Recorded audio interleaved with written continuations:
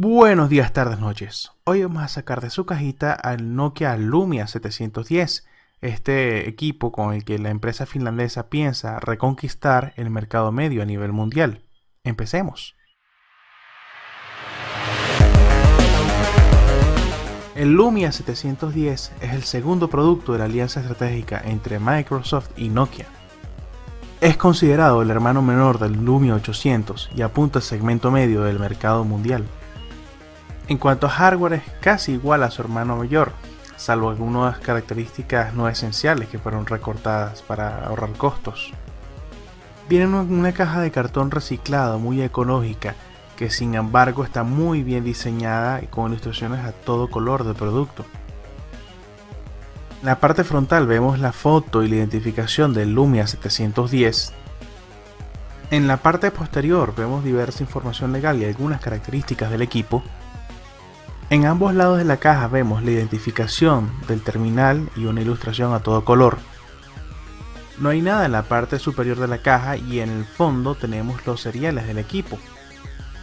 Luego de romper el sello de la caja, alamos la solapa y deslizamos para encontrarnos con nuestro Lumia 710 dentro de una bolsa de plástico para protección. Apartamos el equipo, nos vamos a encontrar con la batería de 1300 mAh Luego nos encontramos con la literatura, el manual de usuario y guías rápidas. Luego nos encontramos un tres compartimientos dentro de la caja. Uno, en uno está el cable micro USB para carga y conectividad. Nos encontramos el set de manos libres y finalmente el cargador para la pared. El set de manos libres que trae el equipo es un audífono interno de goma de muy alta calidad Retiramos la tapa posterior para introducir la tarjeta microSIM y la batería de 1300 mAh.